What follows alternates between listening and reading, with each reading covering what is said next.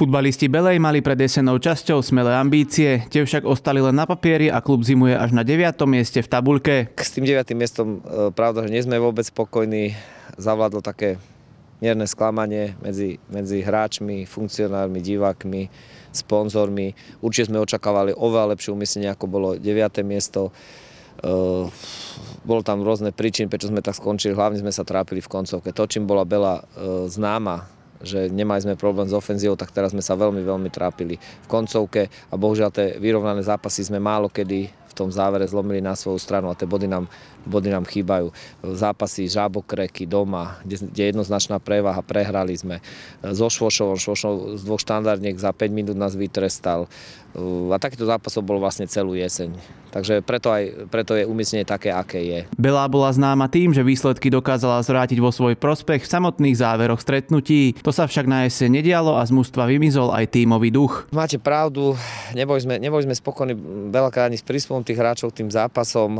No a hlavne kľúčové bolo, že z nášho hviezdneho útočného tria Ševčík, Mintak, Žingora celú jeseň málo čo odohrali. Marek Ševčík, ktorý je kľúčový z pohľad našej ofenzívy, hral v dvoch zápasoch, Peter Mintach hral v závere až jesene 1-2 zápasy, Joško Žingora 1-2 zápasy a to boli tí hráči, ktorí vlastne prinášali tieto emotívne závery, závery z tých zápasov a ostatní hráči sa k ním pridali.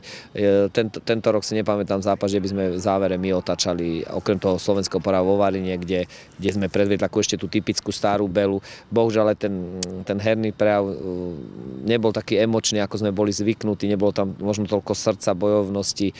Mm, ale vrajím, súvisí to s tým, že sme hrozne málo golov dávali, trápili sme sa, nervozita bola v klube a sa to preukázalo aj vlastne na ihrisku, na tých výkonoch aj v konečnom umiestnení. Mužstvu chýbali góly, problémy však boli aj v zadných radoch, kde sa mužstvo posilnilo, ale nedokázalo presvedčiť ani tam. Oproti minulým rokom tá defenzíva, defenzíva sa nám zlepšila. Nevrajím, že celého mužstva, ale hlavne Marko Kopa a Luboš Mehel boli, mm, boli naštandardní hráči na túto súťaž a e, ešte vďaka ním sme vlastne získali aj toľko bodov, ako sme získali, kde vlastne s týmto doma musím vyjadriť obrovskú spokojnosť, že, že teda veľmi dobre nám zapadli e, do mústva.